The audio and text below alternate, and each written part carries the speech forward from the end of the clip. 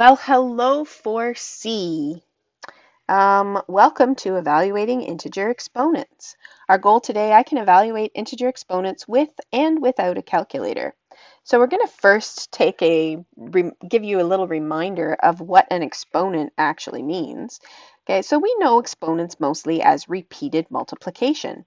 When I write it this way, this tells me that the number 3 is multiplied by itself five times. So I have five threes and they're all multiplied together. I'm going to use the dot to represent multiplication.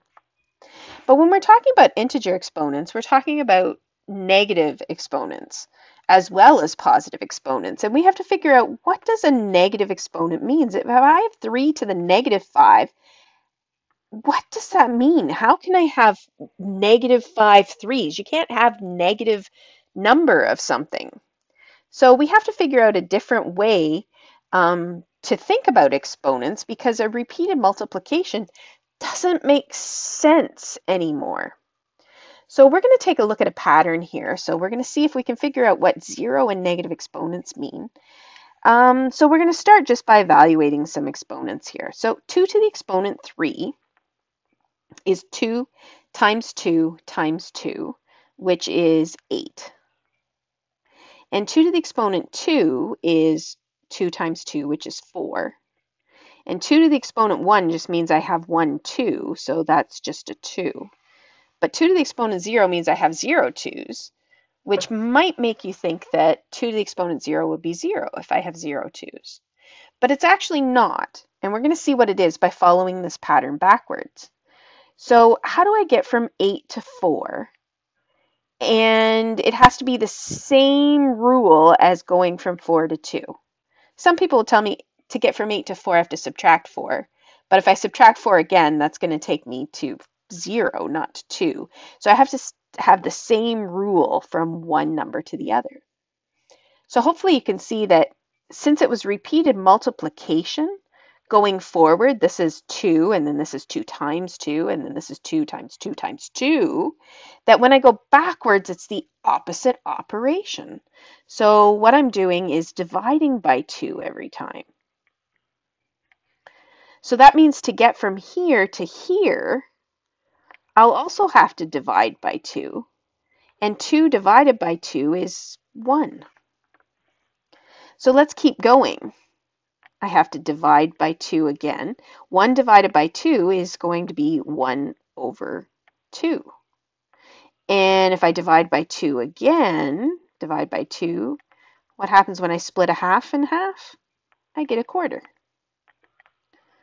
And when I divide by 2 again, splitting a quarter in half is 1 eighth. And so take a little look at this this is related to this. Up here I have an 8, and down here I have a 1 over 8. And up here I have a 4, and down here I have a 1 over 4. And up here I have a 2, and down here I have a 1 over 2. So it's kind of looking like when I have the opposite uh, number, when I have a negative 3 instead of a positive 3, now my 8 becomes a denominator instead of a numerator. And that's actually true. That's what's happening. This negative means that I have to flip it over. So this 8 up here used to be 8 over 1 when I had 2 to the exponent 3. And then when I have 2 to the exponent negative 3, it's 1 over 8.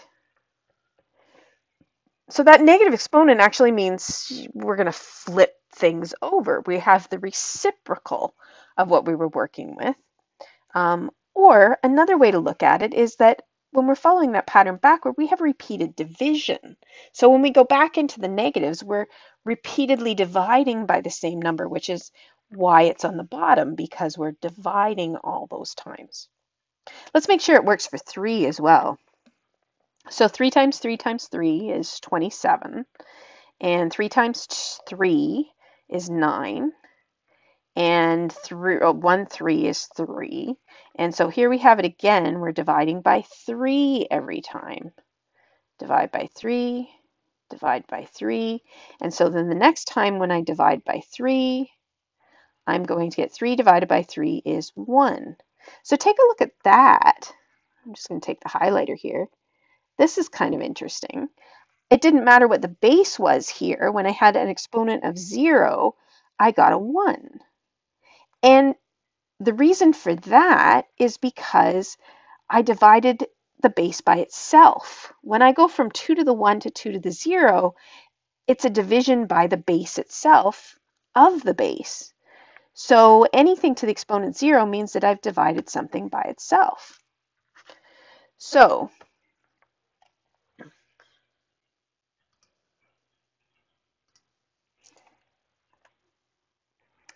uh, and if we keep going here, oops, if we keep going, we're going to have 1 divided by 3 is 1 third.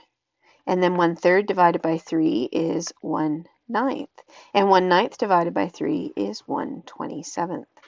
So the general rule is whatever my base is, if I have it to a negative exponent, I'm going to get the same number as if it was to the positive exponent. It's just now it's flipped over. It's on the bottom, not the top anymore. Now, an exponent of 0 means the base is divided by itself. Or whatever we're looking at has been divided by itself. Uh, so that means that anything, it doesn't matter what it is, when you divide something by itself, you always get one. There's always one of something in itself. And a negative exponent, negative exponents mean repeated division. Repeated division. Uh, and the general rule, as I gave you up there, that's going to be n to the r is the same thing as 1 over n or n to the negative r is the same thing as 1 over n to the positive r. So we're going to summarize this on the next page. So in summary, a to the n means a times a times a times dot dot dot dot dot times a n times.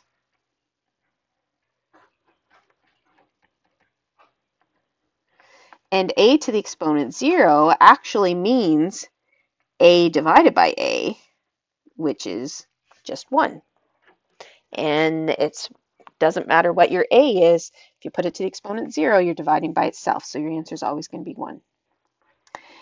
And a to the negative n means 1 over a times a times a dot dot dot times a n times.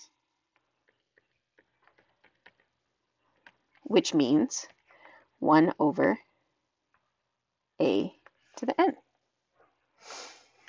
Okay, so we're going to take a look at a few examples. It says without using a calculator. So without using a calculator, negative 5 to the exponent 3 means negative 5 times negative 5 times negative 5. Now, three negatives, a negative times a negative is a positive, then times another negative means my answer is going to be negative. And then I just do 5 times 5 is 25 and then times another 5 is 125. 2 to the exponent 3 means that I have 1 over 2 to the positive 3, which is 1 over 2 times 2 times 2, or 1 eighth. Now, if you type this into the calculator, the calculator is likely going to give you a decimal answer. If you give me something other, other than a fraction, uh, I'll know that you probably typed it into the calculator and this was supposed to be without using a calculator. Now this last one has a fraction as your base. This is a little different than the couple of examples that we did on the previous page. If you have a fraction as your base, the first thing you have to do is flip that fraction over. So this negative exponent, because we talked about it meaning flipped over or reciprocal, this is going to be the same as 3 over 4 to the positive 2. And 3 over 4 to the positive 2 is the same thing as 3 over 4 times 3 over 4. Now, if you remember, way back when you took fractions in grade 9, uh, when you multiply fractions, you multiply the tops and you multiply the bottoms. Another way you can think about it is that that exponent belongs to both the top and the bottom. So you get 3 squared over 4 squared, and of course 3 squared is 9, and 4 squared is 16. Okay, now we're going to use our calculator to evaluate, and what you're going to need to do is look on your calculator for some buttons. So we're going to put in 2.56 for the base, and you need to look for the exponent button on your calculator. Now the exponent button is going to look something like this. It might just be a little up arrow, or it could be a button that says A to the B, or it could be a button that says X to the Y, or some of the newer calculators have a button that has a little box to another little box. So you're going to look for that button and you're going to type in 2.56, hit that exponent button, and put in the exponent. So on this calculator, it's an x to the y. So we're going to put in 2.56 to the exponent 4 and hit equals, and we get 41.6.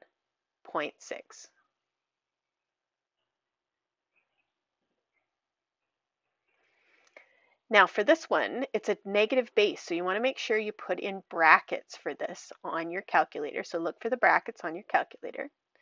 We'll pull up the calculator again, give it a clear, bracket, negative, oh, let's pull it over and figure out what our base is, negative 1.03, hit the end bracket, and then to the exponent 5. So we get negative 1.2 approximately. Oh, and I just realized it said we are supposed to round to the nearest hundredth, but we're actually rounding to the nearest tenth. And since we're rounding, put that little dot above the equal sign.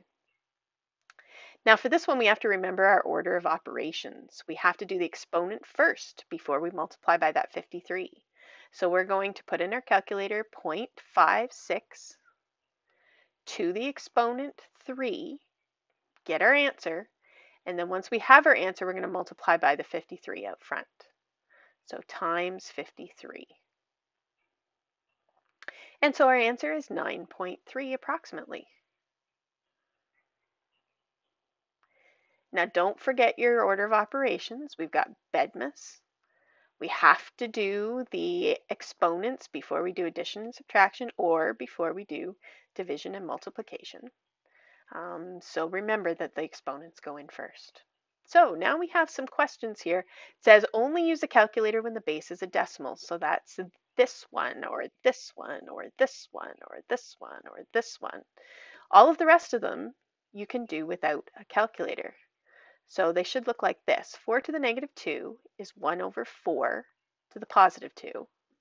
And you know what 4 to the positive 2 is. That's just 4 times 4. So it's going to be 1 over 16. So they should all look like that. Your answer should be a fraction. If it's a decimal, I know you've used the calculator. Good luck.